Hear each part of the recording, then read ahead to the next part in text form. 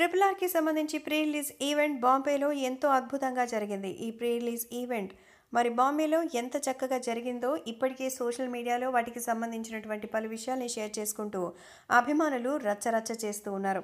అంతేకాదు ఈ ఈవెంట్కి స్పెషల్ గెస్ట్గా వచ్చాడు కండల వీరుడు సల్మాన్ ఖాన్. బాలీవుడ్లో ఎంతో స్టార్ హీరో అయినటువంటి సల్మాన్ ఖాన్ ఇది ఫంక్షన్కి రావడమే కాదు ఎంతో అద్భుతంగా అక్కడ తనకి సంబంధించినటువంటి విషయాల్ని కూడా షేర్ చేసుకున్నారు. అలాగే తనకు ఆ సినిమా అంటే ఎంత ఇష్టమో దాని మీద ఉండేటువంటి ఆ అద్భుతమైనటువంటి ఇంట్రెస్టింగ్ విషయాలు ఏమిటో అంటూ చెప్పారు. సో ఎంతో ఎమోషనల్గా కూడా అక్కడ తనకి సంబంధించిన విషయాలన్నీ కూడా షేర్ చేసుకున్నారు. మరి ప్రీ రిలీజ్ ఈవెంట్లో సల్మాన్ ఖాన్ ఎన్టీఆర్ని తెగ సో ఈ సినిమా గురించి తను చెప్పాలనుకున్నవి అద్భుతమైనటువంటి డెసిషన్స్లో చెప్పేశారు.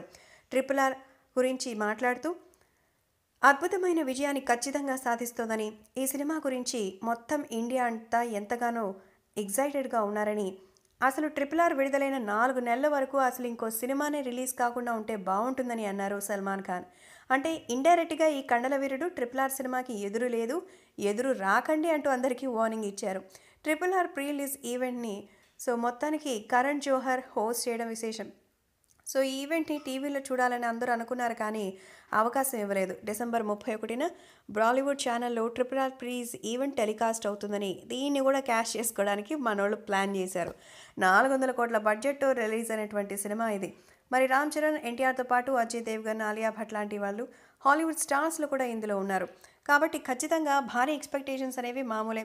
స్వయంగా బాలీవుడ్ ఉన్నటువంటి కండల వీరుడు సల్మాన్ ఖానే కనీసం నాలుగు నెలల వరకు ఇంకో సినిమా రాదు రాలేదు రాకూడదు అన్నాడంటే మన హీరోల కెపాసిటీ ఏంటో అర్థమవుతుంది కదా. సో అది ఏ సినిమా కూడా అంత సాహసం చేయదు మీరు కూడా చేయకండి అంటూ ట్రిపుల్ ఆర్ మూవీ పైన ఆ సినిమా పైన ఎక్స్పెక్టేషన్స్ ఎలా ఉంటాయో చెప్పారు సల్మాన్ ఖాన్.